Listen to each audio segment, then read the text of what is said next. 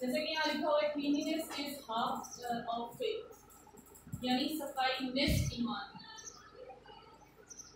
हुजूर वसल्लम की बहुत सारी अहादीस हैं सफ़ाई के हवाले से। इस्लाम भी इन बातों की तरफ़ बहुत तवज्जो देता है। जैसे कि हमारा पहला कलमा ही है तैयब। इसका मतलब है पाक। अल्लाह ताला पाक है और पाक लोगों को पसंद करना है। पाकी का मतलब ये नहीं होता कि आपके इर्द गिर्द की जगह साफ़ पाकी का मतलब ये होता है कि आपकी आप जिसमानी और रूहानी तौर पर भी साफ़ इस्लाम सफ़ाई के हवाले से, जिसमानी और रूहानी सफ़ाई के हवाले से हम पर पाँच दफ़ा फ़र्ज़ की गई है, जो कि नमाज़ है। जिसमानी सफ़ाई नमाज़ की कैसे होती है?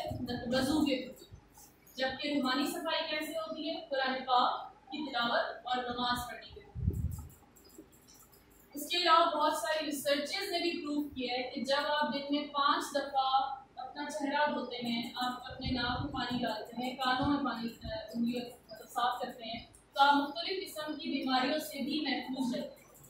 इसके अलावा एक और रिसर्च यहाँ साबित की गई है कि अगर आप साल में 18 से 19 दिन सॉरी 28 से उनतीस दिन 17 से 18 घंटे अगर आप भूखे प्यासे रहते हैं तो आपकी जिसमानी सफ़ाई होती है और आप मुख्तलिफ़ बीमारियों से भी महफूज रहते हैं बड़ी बीमारी है कैंसर और इस्लाम ने इस चीज़ को हम तक कैसे पहुँचाया? रोज़े की सूरत.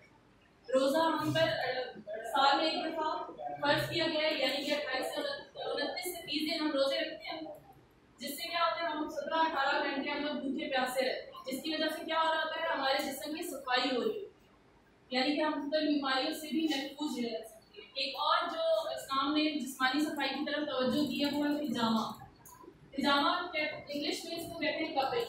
अब ये क्या करता है? आपकी बॉडी से गंदे खून को निकालता है, जिसके थ्रू मुख्तलिफ़ क्लिनिक्स यहाँ पर मौजूद है, जो कि निजामा की तरफ़ फोकस कराते हैं। वसल्लम की हदीस मुबारक है कि अगर तुम अपने जिसम पर कोई रहन करना चाहते हो, जिसका मफहूम ये है, जिसका कि अगर तुम अपने जिसम पर कोई रहन करना चाहते हो तो हिजामा करवाओ। ठीक है? तो हिजामा करवाने से हम स्किन की मुख्तलिफ़ बीमारियों से महफूज रहते हैं।